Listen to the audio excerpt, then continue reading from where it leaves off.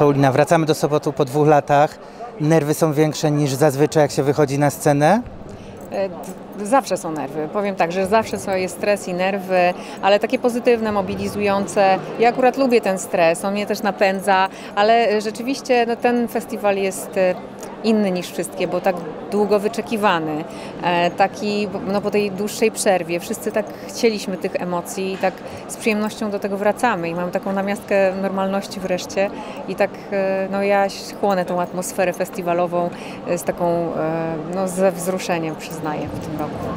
A powiedz mi, czy COVID coś zmienił? Jak wygląda teraz rzeczywistość festiwalowa w pandemii? Obostrzenia się obluzowały, no ale jednak nie jest tak, jak było, prawda, dwa lata temu. E, Na pewno nie jest e, tak jak było, aczkolwiek e, no, muszę zaznaczyć to, że dla każdego z nas jest to taka namiastka tej normalności, tego powrotu do tego, co było kiedyś. Wiadomo, że chodzimy tutaj też w maseczkach, że każdy uważa, że rozmawia się o tym wszystkim, co się działo na przestrzeni tego, tych ostatniego roku, ale, ale powiem szczerze, że, że tak czuję się w miarę no, normalnie tutaj, tak jak kiedyś. I to jest piękne w tym wszystkim.